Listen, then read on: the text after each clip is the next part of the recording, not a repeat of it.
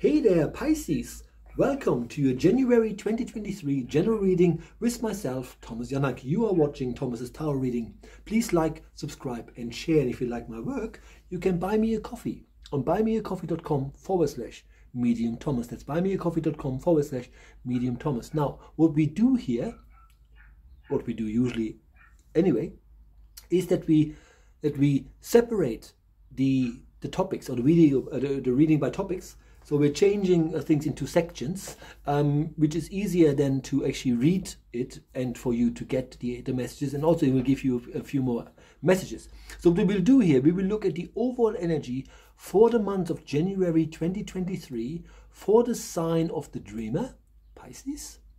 Um, before we then go into your emotional core, the emotional core is um, if there's love coming in, um, maybe there's trauma that can go, that sort of stuff. Before we then lastly look at opportunities. And opportunities, for the most part, will be about what sustains you financially. At the same time, money is not a spiritual currency. So it will also be about how you emotionally and spiritually fit in to these scenarios that you find yourself in or want to find yourself in right? So we do all this. And then there's another change this month pisces. And i don't know yet if this is going to be there forever. If it is in the should i should this continue that way then i will just do the readings without all the information you're getting now because this month I'm not using my cards. This month I am using um, galaxy balls. Galaxy balls are literally crystal balls, but they have resin in it. And that resin allows me, by tilting it, to see galaxies, which is um, handy when you do astrology, which is why you're obviously here. and um, it allows me to, to deeper connect to the sign I'm reading. And um, I have two uh, galaxy balls here today, which is why I have to explain this to you. Had I only had one, I would just do a reading. but these two are very different from one another, and therefore, how the messages should be understood is different. So let me just explain this to you. Won't, it won't take a minute. I have two galaxy balls that I could be using, and I don't know, excuse me, which one I'm actually going to use. So here's the first one I got. This is my dolphin galaxy ball. And this one is about perception. This is how do you see the world and how does the world see you? In other words, where am I in the scheme of things? Should I be using this guy for the reading? You should look at the messages from where am I right now? How does this all relate to my life at this very moment? That's this guy. It's about perception. The other galaxy ball that I'm having, that I could be using, and sometimes the reason why I mention all of them is because sometimes the guides say, oh, for this section, use this one. And then you would realize that I'm using a different galaxy ball. Therefore, I have to explain to you why this is an opportunity or, or a possibility and what it means. In any case, the second one that I have is the Dragon Galaxy Ball. Hey, awesome. The Dragon is associated with the element of water. The element of water is purity and renewal. The dragon is also associated with the color gold, which is a conduit. Therefore, um, should I be using this one, it will, will, it, will, it will be even um, it will even be a bit deeper. The other thing that the dragon is known for is its association to the south node and the north node. So the south node and the north nodes are different because the north node is sort of why you're here. Um, and then the south node is about your karma. and if the south node and the north node would ever meet, it would take them 26,000 years to get to one another. So, shamanically speaking, the belief is that we have one soul with changing bodies, if that makes sense. And for 26,000 years, we will be on this very planet to learn one thing, one thing only detachment. So, all the lifetimes that we have are about learning to experience everything and anything there is and learn to let stuff go too. Mm, not quite sure where I'm going with this, I just wanted to let you know what this is all about. Ultimately, should it be the dragon that I will be using. The messages should be understood from a point of view of thinking, how does this relate to how I'm feeling? This is about going within. Should I be using this guy? Anything you hear me say, anything you hear me translate, if that makes sense, from the guides, is about how does this relate to my inner feelings? How do I, how, how do, does this sit right with me? Right? okay, you ready? Let's just see what I'm drawn to and then just take it from there.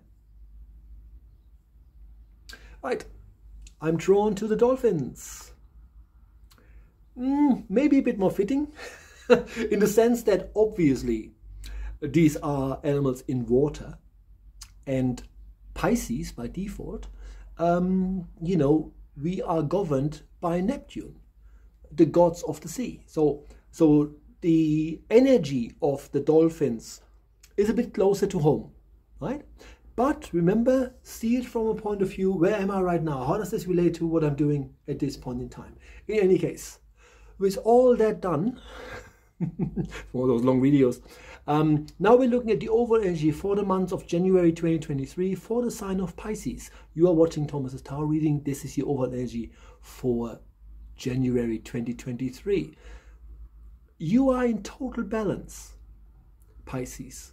No matter how you feel about things, you are in total balance. Your job, therefore, is I should say our job because I'm Pisces too is to stay in balance. If life is difficult, remember that life is cyclical.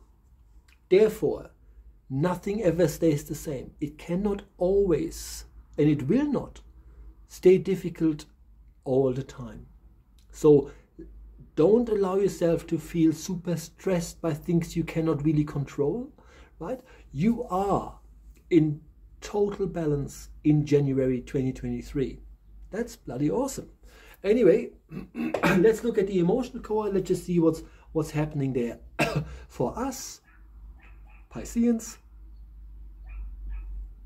excuse me, you have, we have.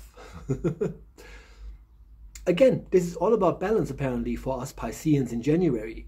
Um, the this is not about trauma. So this this month, January 2023, Pisceans, it is not the month for you to go deep into into uh, retrospective um, thinking. I'm not knocking if you go on a retreat, but the energy in January is more about staying in the now, right? Dealing with the now playfully. It is a Pisces trait to be playful. and whatever happens with regard to love, will be manifested easier or work better when everything is done in a light-hearted way. So even underhanded uh, um, criticism, if you must uh, uh, be critical, um, ought to be done playful. So if you are in a relationship, anything that needs to change or, or to change or, or, that you want to discuss, discuss this without having to say, I want us to sit down, blah, blah, blah, right? This has to be playful. The more playful you are, it allows for more love to actually be in the moment. So that's what I'm getting. Should you not be in a relationship, is this is what what what what you're about to uh, manifest or what you're in the process of manifesting, um, telling yourself uh, um, what an idiot you are and telling yourself how you're obviously not a good partner doesn't work at all, does it? So the job that you have is to say like, yeah, it'll come, right? And we will all be very happy in that relationship. We will make it work. It's going to be awesome. The point is, in January 2023, and Pisceans, we're the sign of the dreamer, so we're not very good at that. Which what, what that means is we we we have a strength to be in the now, but we also have a tendency not to stay in the now.